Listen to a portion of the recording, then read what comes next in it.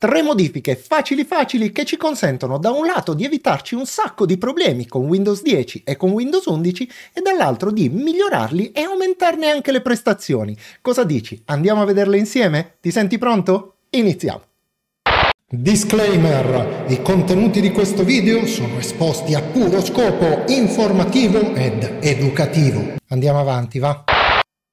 Rieccomi qui anche oggi in versione Amanda Lear, visto che la voce è rauca perché il raffreddore non mi vuole proprio abbandonare. Allora, armato di tisanuccia e caramelline sante, andiamo avanti a spada tratta. Di che cosa voglio parlarti?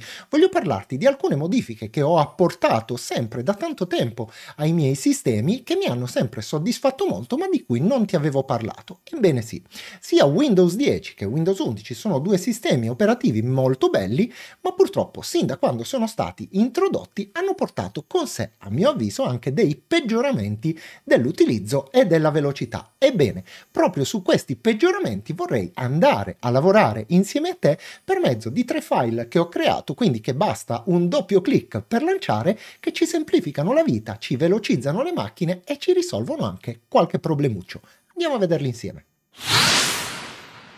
Sono certo che hai già indovinato, la prima cosa che andremo a fare sarà procurarci questi file. Per farlo non faremo nulla di diverso dal solito e quindi apriremo il nostro browser, nel motore di ricerca andremo a digitare come sempre gentiluomo digitale, effettueremo la nostra ricerca e faremo riferimento al primo risultato, ovvero quello relativo al dominio gentiluomodigitale.it andiamo ad aprire il nostro sito e una volta che si sarà aperto ci porteremo sul menu qui in alto e sceglieremo questa voce, quella che si chiama Downloads. Facciamoci clic su e nella pagina che si aprirà scenderemo un po' più in basso fino a trovare questa voce che con poca fantasia ho chiamato miglioramenti Windows. Nel caso in cui tu non riuscissi a trovarla, ti prego non cadere nel panico, non strapparti i capelli e non correre in strada in preda alla disperazione. Ti basterà infatti eiettarti immediatamente su questa lente di ingrandimento qui in alto, farci clic sopra e al suo interno scrivere una qualsiasi parola del file che stai cercando. Dico una qualsiasi qualsiasi parola del file che stai cercando perché naturalmente questo piccolo trucco ti potrà servire per qualsiasi altro download sul nostro canale. Ma visto che oggi stiamo cercando di scaricare il file che si chiama miglioramenti Windows, andremo a scrivere ad esempio la parola miglioramenti. effettuiamo la nostra ricerca e vedrai che in pochi secondi ti comparirà il risultato che stai cercando. Quindi ti basterà fare un clic sulla voce che hai scelto e aspettare che il download termini. Quando sarà terminato ti si aprirà una finestrella come questa e cliccherai su questo pulsante aprendo la cartella dei download che contiene per l'appunto il file che ci serve. A questo punto però chiudiamo prima la pagina del browser retrostante che non ci serve più. Ed eccoci qui con il nostro file appena scaricato. La cosa che ti consiglio di fare è un bel doppio clic per aprire lo zip e successivamente di andare, come ho fatto io in questo momento, a selezionare tutte e tre le cartelle al suo interno, dopodiché potremo trascinarle sul nostro desktop e andare a chiudere questa finestra. Ora che ti ritrovi queste tre cartelle sul desktop potrai tranquillamente tenerle qui oppure anche salvarle su una pennetta. In questo modo potrai utilizzare queste modifiche che non richiedono assolutamente alcuna installazione anche su computer diversi dal tuo. Ma andiamo a vederle una per una e a capire che cosa fanno. Cominciamo da questa qui, quella che si chiama Velocizza Explorer. Andiamo ad aprire la relativa cartella e al suo interno, come in tutte le altre cartelle, te lo anticipo già, troveremo tre file. Uno di questi file sarà sempre quello che apporta la modifica che ci interessa, un altro, quello con scritto annulla, per l'appunto ovviamente va ad annullare questa modifica nel caso in cui per qualche motivo non fossimo soddisfatti, mentre il terzo file, che si chiama sempre info.txt, conterrà una breve descrizione di quello che fanno i comandi all'interno della cartella specifica. In questo caso stiamo guardando la cartella che si chiama Velocizza Explorer. Che cosa fa? Con Windows 10 poco, con Windows 11 molto di più, si verifica un fenomeno davvero molto noioso per tutti quanti gli utenti, ovvero che quando andiamo ad utilizzare il nostro Esplora risorse, l'apertura di determinate cartelle può rivelarsi estremamente lenta. Questo è dovuto ad un fenomeno di utilizzo, mm, secondo me sbagliato, da parte di Microsoft della cache.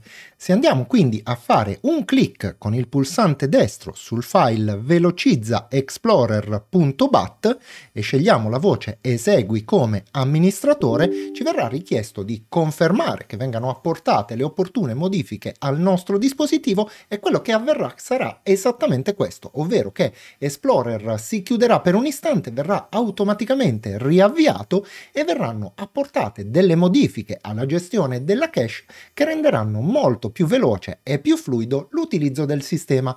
Non sarà necessario riavviare il PC, ma sarà tuttavia consigliato al termine di questa modifica. Non posso farti vedere la differenza tra il prima e il dopo, dato che su questo PC non c'erano file particolarmente grossi e comunque si trattava di una macchina abbastanza performante. Se tuttavia sul tuo PC dovessero esserci problemi, ricorda che la cartella Velocizza Explorer e il comando velocizzaexplorer.bat lanciato come amministratore sono la soluzione che fa per te. Andiamo al prossimo.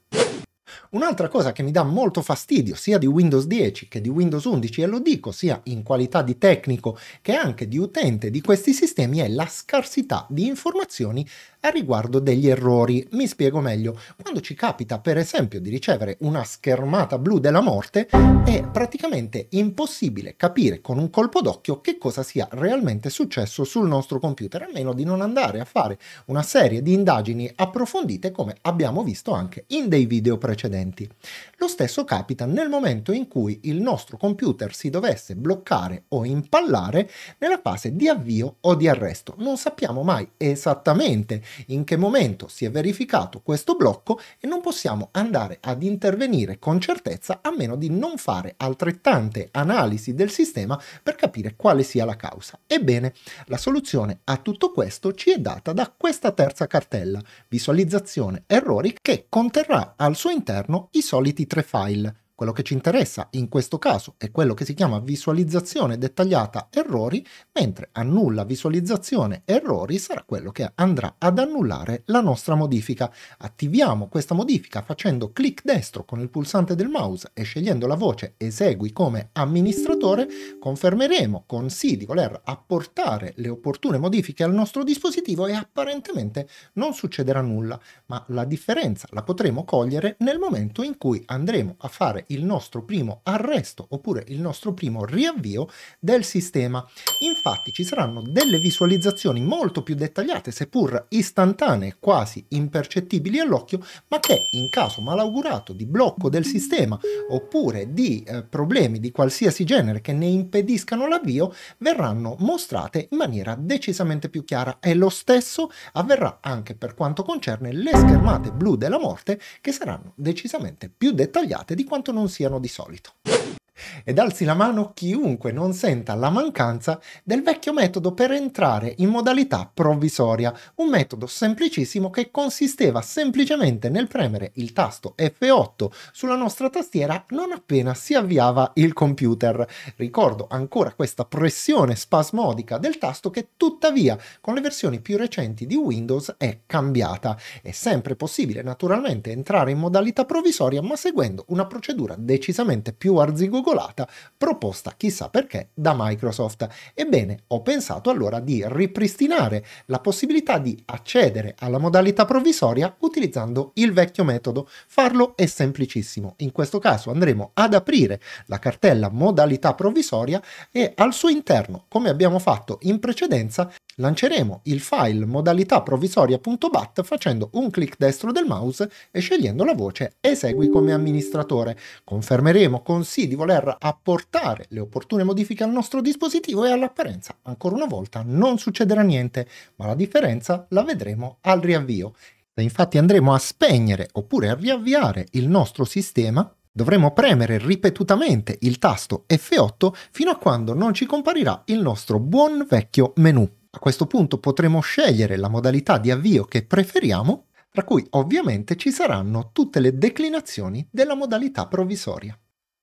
Ed eccoci qui, devo tuttavia ricordarti due cose. La prima è che non è facilissimo premere il pulsante F8 al momento giusto, ci vuole un pochino di allenamento, ma vedrai che sicuramente anche tu riuscirai ad entrarci. E la seconda è che ho il sospetto che Microsoft abbia eh, optato per la nuova tarantella di ingresso in modalità provvisoria perché questo metodo qui che ti ho appena mostrato fa un pochino a cazzotti con il Secure Boot. Trai tu le opportune conclusioni.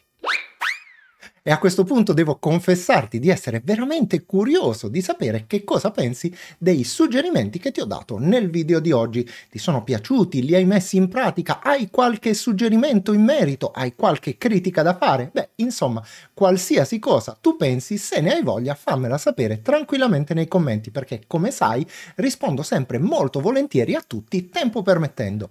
Ma andiamo avanti restando sempre sull'argomento della nostra community perché ti vorrei parlare un istante del nostro canale segreto secondario Il Lato Oscuro. Ormai ha raggiunto una certa massa critica e quello che sto pensando nei prossimi mesi, ma si tratta di una cosa abbastanza immediata, è di fare delle notevolissime modifiche a questo canale e continuare a proporre dei contenuti anche se con uno stile ancora inedito. Insomma, grosse novità sono in arrivo, non ti spoilerò altro come si suol dire, ma vedrai che a breve breve ne riparleremo. E se per caso non sai che cos'è il lato oscuro non ti preoccupare, trovi tutti quanti i riferimenti nella descrizione di questo video, ma passiamo ai ringraziamenti del giorno che quest'oggi verranno effettuati grazie all'ausilio della nostra mitica listarella carta e penna.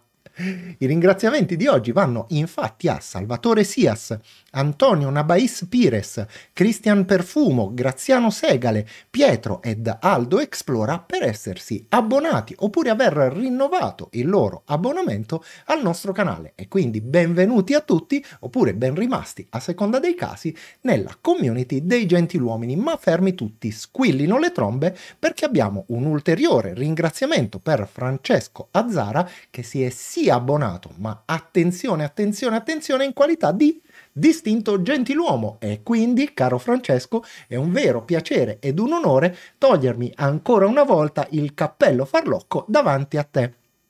E non abbiamo naturalmente terminato, perché ringraziamo anche il gatto mistico, detto Misti, Maurizio Andrenacci, Iron75, che ringraziamo due volte perché, come puoi vedere, ha inviato due super grazie, e infine Max Rossi, perché appunto con i loro super grazie hanno voluto contribuire alla vita, alla vita della nostra community. E un ultimo specialissimo ringraziamento non può mai mancare ed è quello destinato proprio a te che hai guardato questo video, mi hai fatto compagnia nel corso di questi minuti e detto questo non mi resta che salutarti e darti come di consueto appuntamento alla prossima. Iscriviti!